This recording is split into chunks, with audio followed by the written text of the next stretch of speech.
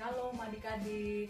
Sebelum kita membaca dan mendengarkan cerita firman Tuhan, mari kita berdoa. Tuhan Yesus, terima kasih atas kasih setiamu bagi kami. Hari ini kami mau membaca dan mendengarkan cerita firman-Mu. Berkatilah sehingga cerita firman-Mu dapat kami ingat senantiasa dan dapat menjadi pelajaran bagi kami sebagai anak-anak sekolah minggu untuk menjadi lebih baik. Dalam namamu kami berdoa. Amin. Adik-adik yang dikasih Tuhan, adakah di antara adik-adik yang pernah mengucapkan janji? Janji kepada teman atau mungkin janji kepada orang tua.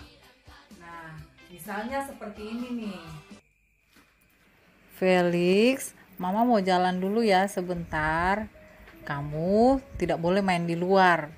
Nah, kalau ada yang ketok pintu rumah kita, gak usah dibukakan pintu loh ya. Pokoknya kamu tetap tinggal di dalam rumah. Paham? Felix paham, Ma. Felix janji tidak akan main di luar rumah. Felix, main di luar yuk. Tapi mamaku lagi jalan, terus aku nggak boleh main di luar. Ah, gak apa-apa, sebentar aja Felix. Ayolah sudah, tapi jangan bilang-bilang mamaku ya. Nah, adik-adik, kira-kira bagaimana perasaan adik-adik ketika adik-adik tidak menepati janji yang adik-adik ucapkan pada kedua orang tua ketika orang tua meninggalkan rumah. Nah, pasti akan ada rasa takut. Takut karena dimarahi oleh papa dan mama. Nah, mengapa ketika papa dan mama meninggalkan rumah, banyak pesan yang disampaikan kepada adik-adik? Itu karena papa dan mama sangat mengasihi adik-adik. Mereka tidak ingin terjadi sesuatu kepada adik-adik. Adik-adik yang dikasih Tuhan, Tuhan sangat mengasihi bangsa Israel. Sehingga dalam perjalanan dari tanah Mesir sampai kepada Kanaan, Tuhan selalu menyertai, menjaga bangsa Israel. Nah, tetapi Tuhan mau agar bangsa Israel juga tetap taat dan setia kepada Tuhan. Oleh karena itu, Tuhan memanggil Musa untuk naik ke atas Gunung Sinai.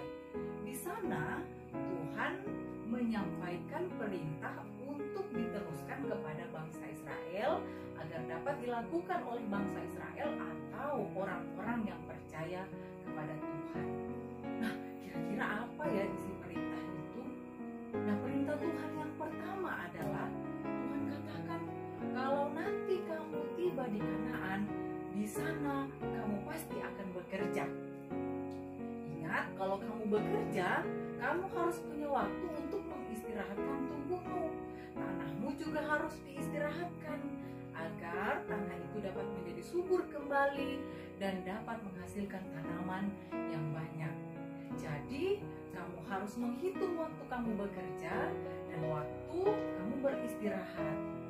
Tahun kamu harus bekerja dan tahun ketujuh kamu beristirahat. Nah, misalnya seperti ini. Pada tahun pertama, kedua, ketiga, keempat, kelima, dan keenam, bangsa Israel akan bekerja. Tetapi pada tahun ketujuh, mereka stop, lalu mereka beristirahat. Demikian juga tanah yang mereka tanam. Nah, adik-adik kalau sudah ada tujuh kali waktu mereka beristirahat, itu dikalikan dengan tujuh tahun, maka tujuh kali tujuh sama dengan 49 tahun. Nah pada tahun ke-50 itulah yang disebut sebagai tahun Yobel. Adik-adik tahu enggak? Pada tahun Yobel itu semua orang akan dibebaskan. Semua orang akan berbagi kasih.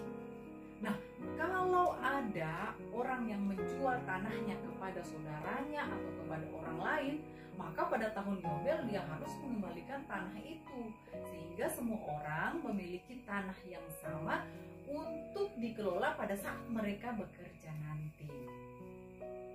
Nah, kemudian perintah yang kedua.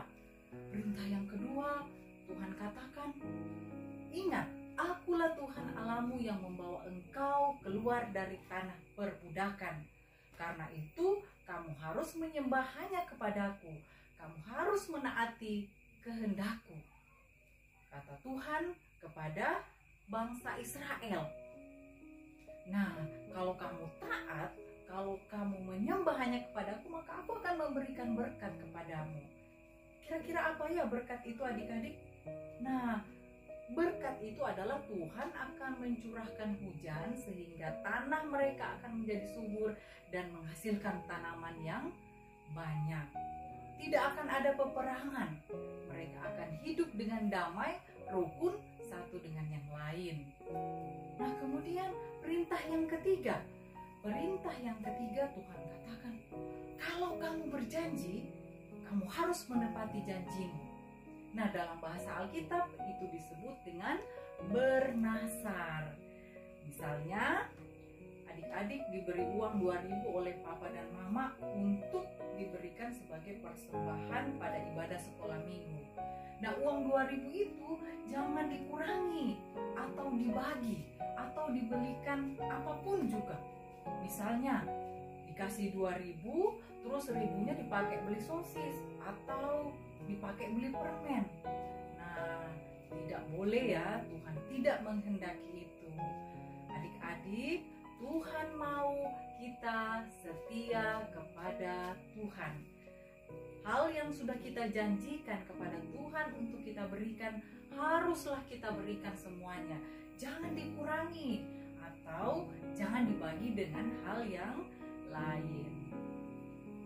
Adik-adik yang dikasih oleh Tuhan, demikianlah perintah yang diberikan oleh Tuhan kepada Musa untuk diteruskan kepada bangsa Israel agar dapat dilakukan oleh bangsa Israel dengan baik.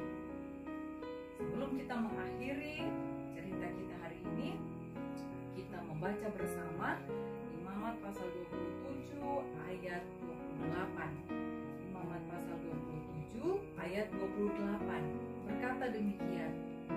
Akan tetapi segala yang sudah dikhususkan oleh seseorang bagi Tuhan dari segala miliknya, baik manusia atau hewan maupun ladang miliknya, tidak boleh dijual dan tidak boleh ditebus karena segala yang dikhususkan adalah maha kudus bagi